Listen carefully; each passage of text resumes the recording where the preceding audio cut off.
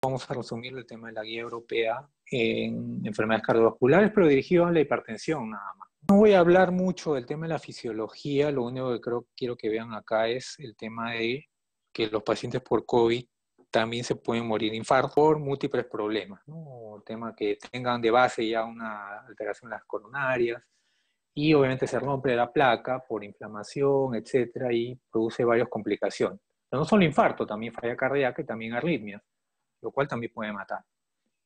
Esto no se puede evitar. Bueno, hay algunos medicamentos que sí pueden bajar esto un poco, pero esto va a durar, por lo menos todos los que nos infectemos en algún momento del COVID, yo todavía no me infecto a pesar de que tengo contacto con estos pacientes, pero uso mascarilla. Va a pasar, ¿no? Va a pasar y tenemos que lo, los que vemos estos pacientes con enfermedades crónicas decirles, ¿no? Que deben mantenerse lo más controlados para que cuando le llegue a dar si es sintomática la infección, porque también hay un porcentaje que no son sintomáticos, no ocurra esto, ¿no? no ocurra esto y se mueran, como han visto este caso, de un infarto. O les se mueran de insuficiencia cardíaca o les dé una arritmia y también fallezcan ahí. Todo eso ocurre por daño, ¿no? Inclusive se ha descrito que también un daño directo del virus en el mismo corazón. Hay factores de riesgo que ya están demostrados, ya están estudiados, que producen o exponen, mejor dicho, a los pacientes a que se infectan por el virus, a que se mueran. ¿no? O sea, no es igual, ¿no? Alguien que no tiene ningún factor de riesgo y se infecte por el virus, generalmente los jóvenes, ¿no? Esos que van a las discotecas de 20 años, no tienen hipertensión, no tienen diabetes, se infectan, no les interesa y por eso siguen contagiando, porque no se afectan ellos, ¿no?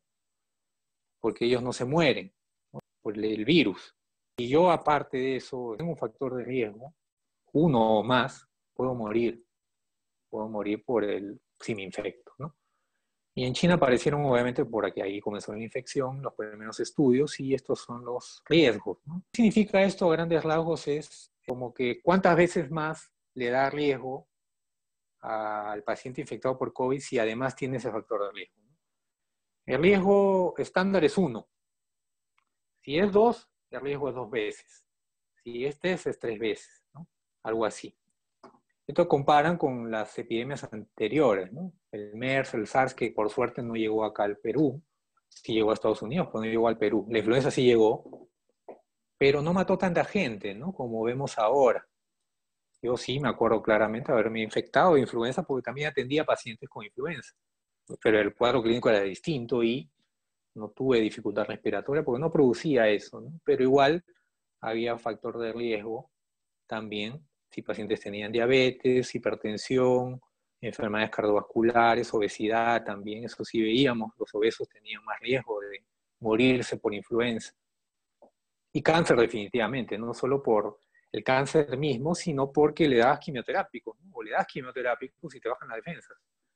Pero miren el COVID, el COVID, tener diabetes te eleva nueve veces, nueve veces la mortalidad versus si no tienes diabetes hipertensión siete veces, tener ya un evento cardiovascular, ¿no? un ACV o un infarto previo, 13 veces, tengo una enfermedad pulmonar crónica, no sé si acá incluyen asma, creo yo que es más EPOC que asma, siete veces cáncer, siete veces también. Esos estudios en China. Y lo mismo se repite con otros estudios. Esto ya es un resumen de más estudios en otros países. La edad, eso también lo vemos. Pacientes más de 60 años se mueren más, pero la edad no la podemos cambiar, ¿no? No la podemos cambiar.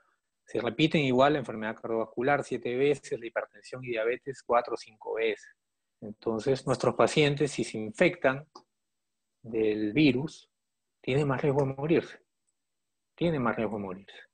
Y eso está descrito en, en la guía, ¿no? Esta de junio del 2020 de europea ¿no? ¿Quiénes más están en riesgo? Mayores de 65, EPOC, insuficiencia cardíaca, que ya tengan arritmia, ¿no? Pacientes con fibrilación auricular, que ya hayan tenido un infarto, que tengan asma. Y acá describen algo interesante, pero yo no lo tomaría, ¿no? Como que, o sea, no, no debe tomarse así, ¿no?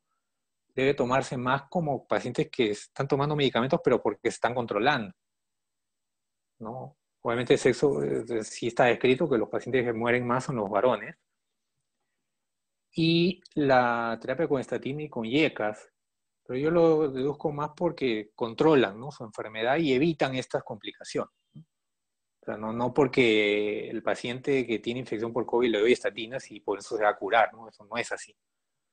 No es así. No, no hay que tomar eso como, o sea, ese concepto de factor protector. ¿no?